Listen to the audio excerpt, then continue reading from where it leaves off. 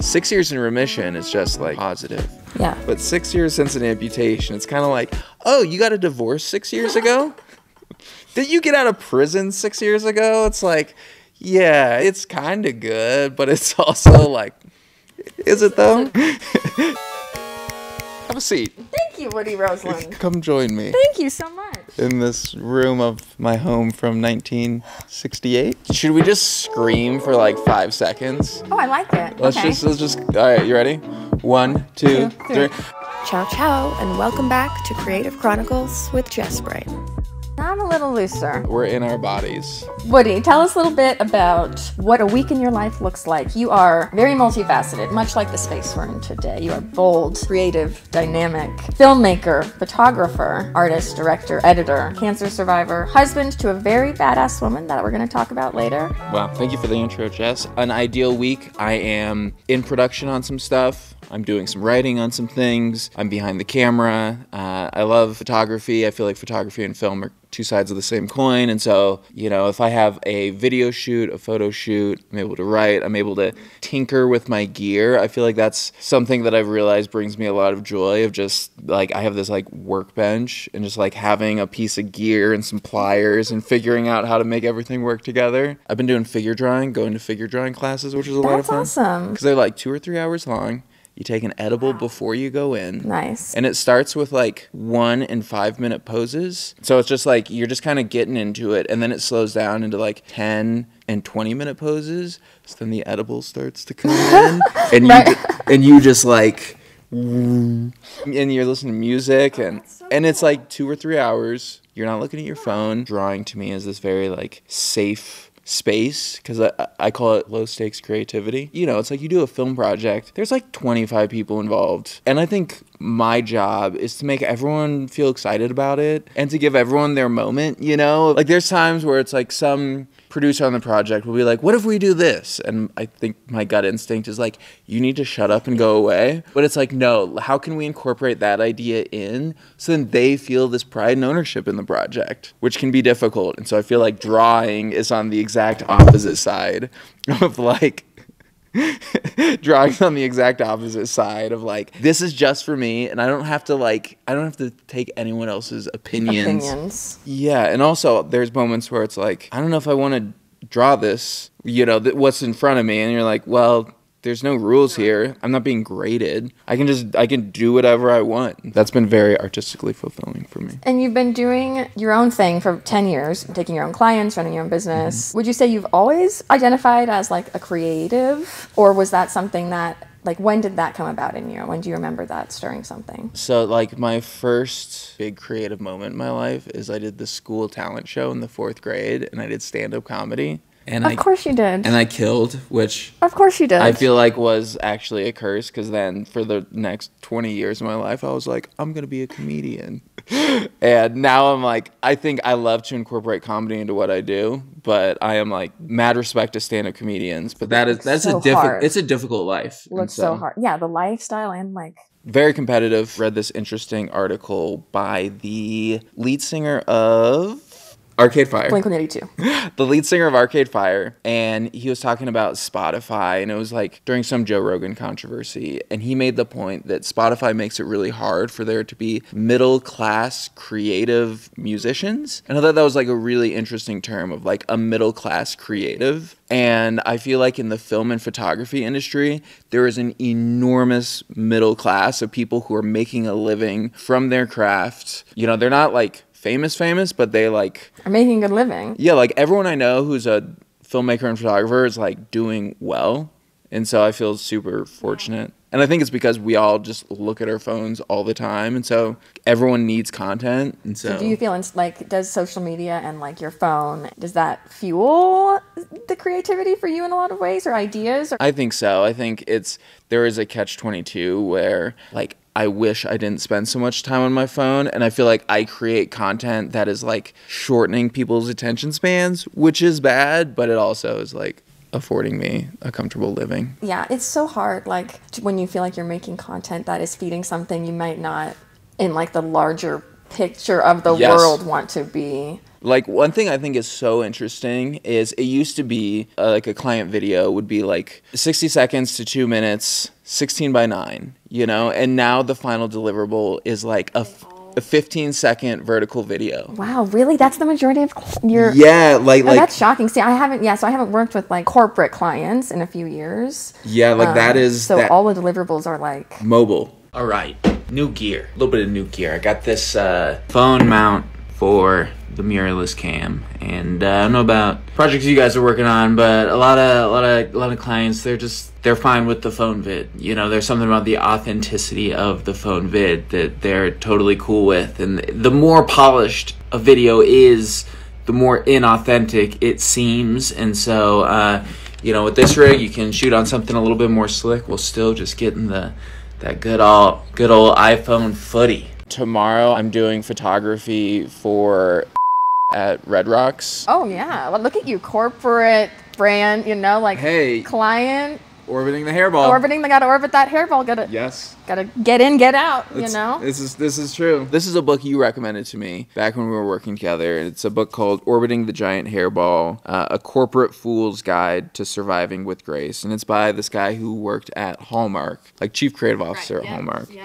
And I feel like it's a great book about being a creative in a corporate environment. And the metaphor is that you want to be orbiting the giant hairball because if you get too if you're if you're too low you get you get You tangled get in sucked it up. You get and tangled. and you can't make anything You good get but, sucked into the chaos. You ca yeah, it sucks your creative. but if you get too weird and you like want to be an individual too much you you fly into into You outer can't go rogue. space You can't go rogue in a corporate environment. and so it's that the the thought of finding finding the balance of still being in the orbit making things you want to make that serve the greater good and i think that was a that that like a lesson that i still use today of like when you're getting paid to create for someone else you're creating for someone else and your own ego and your own ideas have to serve that and it can't just be the woody show the whole time I love that you brought that book so much. It's like such a good fucking lesson. this concept I really love. The trust battery is that when you start working with someone, you're kind of at 50%.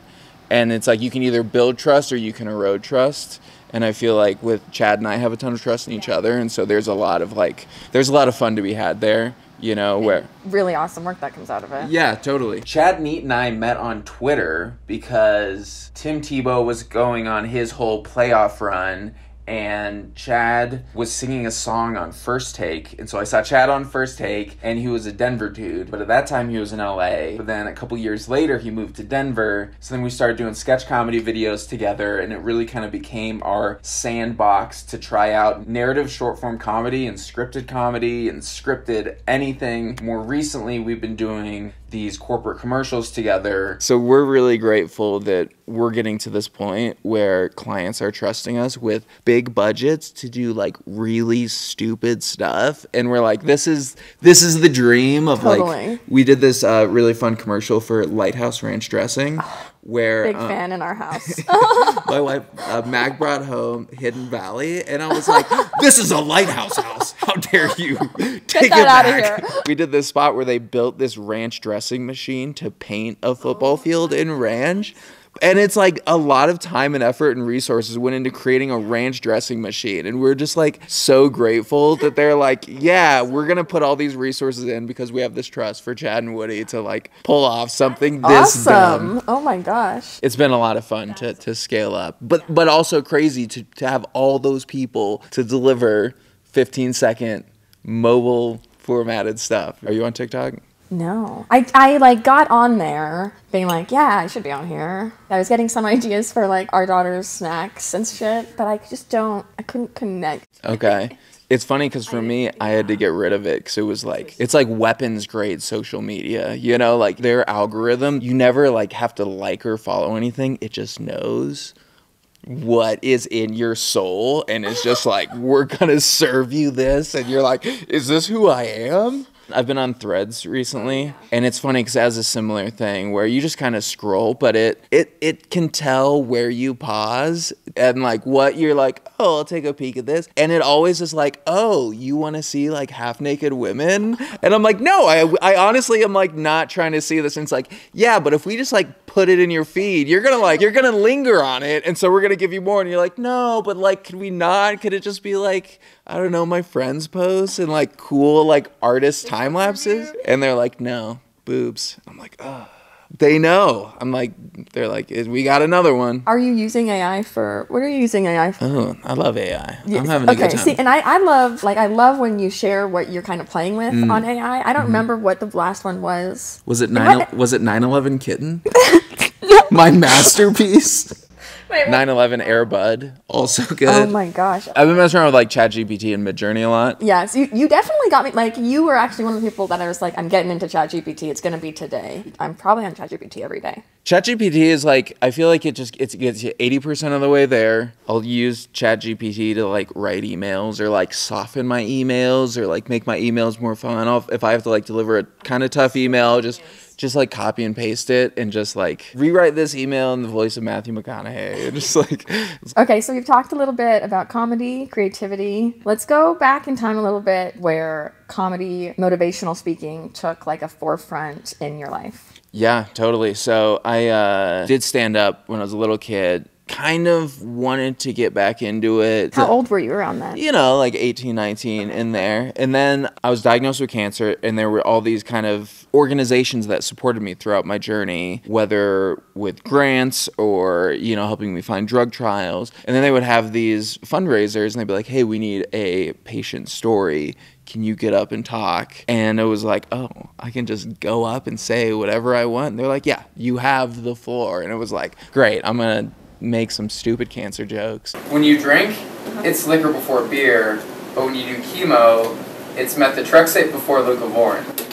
And so I was like, okay, I can do comedy. And that became kind of a big part of what I did of like motivational speaking. That was like some comedy, some motivational speaking. But it was nice because it was these really easy audiences because it was like, here's this sad kid with cancer. And then I'd tell a joke and it was like, oh, this isn't, you know. Whereas I feel like if you're doing stand up, it's people being like, prove to me that you're funny. And I was always like, I'm not that funny. I You already had like the pity audience. Yes.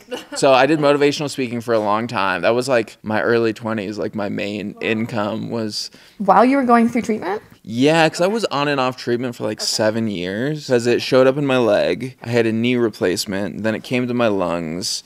Had a bunch of drug trials, chemo, lung surgeries, just kind of on and off for Okay. years and years. So And- during that whole thing, you're you're speaking at events and yeah, I'm kind of in school, but like I was never very, I never graduated college. It wasn't like where I excelled at all. what were you in school for? I like marketing. Okay, but all right. but I think when I dropped out, I was like a second semester sophomore or something. So, That's like a year and a half, you know. but I was I was in school for like a long time, much longer than to be a second semester sophomore. But I also am great because I was going to Metro. Okay. So it was like it was like super cheap, and so I don't have like student loans. So Do I'm you like still have like friends from that from there?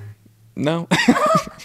Pretty uh, unmemorable college. ex- I had fun in college though. I guess do I? Once I kind of started doing more motivational speaking, I gave the TEDx talk. Cancer affects everybody, whether it's having it yourself, like I did, or knowing a close friend or family member who has had it. Cancer has become an unfortunate fact of life for all of us. In my life, I've had my fair share of cancer. I was initially diagnosed with osteosarcoma in my left knee when I was 16 years old. They quickly did a complete knee replacement surgery, which left me with the same knee that most 65 year old ex football players have. After this surgery, I thought I was done with cancer, but my body had different plans in mind. The cancer ended up returning in my lungs. Much to my dismay, this wasn't an isolated incident. It reappeared again and again and again. Four total times I've been told that I would need lung surgery to remove cancer. This was always surprising because I've always responded well to chemotherapy. It finally made sense when they found a four inch tumor lurking in my calf that had been seeding my lungs with tumors this entire time.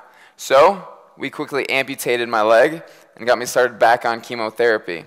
I endured 12 rounds of chemotherapy that I finished just a few short months ago, in case you couldn't tell from my awesome haircut. It was also this really weird balance where I was making all this money to be a motivational speaker, but at the time I'm 21 years old. I'm like mostly dropped out of college. I'm working part time at a restaurant. I have this like dingy apartment. And that is it- that in Denver? Are you in Denver? Okay. And then it's like I go on stage in front of a bunch of people and I like tell them how to live their lives. Right. And then I go home to my like crappy apartment where I like smoke a bunch of weed and I don't know. In between speeches, my life was not inspirational. And bone cancer is a like stubborn form of cancer. Like you think about like skin cancer is skin cells that are cancerous. Bone cancer is bone cells that are cancerous. And so it's just like a hardy cancer that you really have to get after. And so um, chemotherapy is a lot like antibiotics. Is that once you do one, you can't really do it again. Because if you think you have hundred percent of cancer cells, you do a chemo, it kills ninety eight percent, and then they start regrowing. From that two percent that survived, now you have a new hundred percent. Is that like those were the ones that were resistant to the chemotherapy. So you have to come at it from a different angle. So what happens is as time goes on and you try new treatments, they get less and less effective. And so that's why it kept coming back is like we just couldn't quite you know, turn that corner and eradicate it. And so they had to amputate the leg. It was funny. I found out on a Thursday and they were like, okay, well, we can get you tomorrow. We can amputate it tomorrow. Oh. And I was like, oh. let's pump the brakes. I'm still going to have cancer on Monday. Like, can we, can we do it then? And you're at how old at that point? like, like 23. It was maybe 20. No, it was like 21 because I hit 10 years oh. A little bit ago. Like, Oh wow, T- ten years in remission. 10 years. No, no, no, no. It's funny the distinction between remission and like sincere amputation because it's like six years in remission is just like positive. Yeah. But six years since an amputation, it's kind of like, oh, you got a divorce six years ago? Did you get out of prison six years ago? It's like, yeah, it's kind, it's kind of good, but it's also like, is it though? It's like a weird thing to Not celebrate. an anniversary that yeah. You're not like, a- thr- a I'm not like thrilled Like a- about there's no. Hallmark card for like happy. I heard you're now disabled. and like mentally, what are those years afterwards? Uh, yeah, definitely a tough couple years for sure. Cause it was like I got re-diagnosed. I had to have my leg amputated, and then I had to start treatment again. So you had to go through treatment after the amputation. Yeah, like like probably the hardest treatment I ever did was after my amputation, and so I had to like move back with my dad in Aurora. That's just like all my friends are graduating college and getting. I don't know what's so wrong with Aurora, but It's actually like a couple just- miles from where you guys do you guys live. live close to us? When I was 21 and amputee. Oh, they don't. They don't live out there anymore. No, my dad moved to Florida. Oh, okay, okay. He's a Florida man now. Okay. But uh, no, it was it was it was a tough stretch because like I didn't have a car. It takes a long time. You have to wait like a couple months before you can get a prosthetic leg. In the first couple years with a prosthetic leg, it's very difficult. Like I've definitely found a much better quality of life now, but like it takes a while to like because your leg, you know, you think about it, you cut it off, your leg swells, it atrophies, it's like constantly changing. And so the fit on the prosthetic is like very difficult to dial in. Like, imagine wearing like a really uncomfortable pair of shoes or like a really uncomfortable bra. It's also like this weird like identity thing too of like imagine like every time you leave the house you have to like wear a pair of pants that you're like these are these pants are not me. But it's like, nope, you gotta wear the JNCO baggy pants again today. And you're like, I don't I don't want to be JNCO baggy pants guy today. I don't want people at the airport to like come up and talk to me again today. And it's like, well, it's who you are. So that that's been a whole part of it too, which I feel like I'm at a better place. But At 33 years old, you feel like you've come into like the Woody that is all of those things. Yeah, I think so. The more chemo I did, like the more my hair stopped coming back. And so that was a part of like the identity thing too of like like I used to have good hair. Like I can send you a photo. Everyone in my family has good hair. Oh you know, and then just being like not anymore, you don't. The leg was one thing, but there were other aspects of your identity that like went out the fucking window. in Yeah. that entire process. I think also there was this this feeling of like really wanting to be traditionally handsome and like like seeing myself as like someone who's supposed to be very traditionally handsome and then being like you can just be like weird and unique and i think that's like better than just But just they're still handsome. It's not one or the other. that's true It, you know, it sounds like you've done work on like redefining like the picture. yeah. You know, also having the name woody it's like i've all i've always felt like kind of a weirdo i've always been is that your like full name? Woodrow.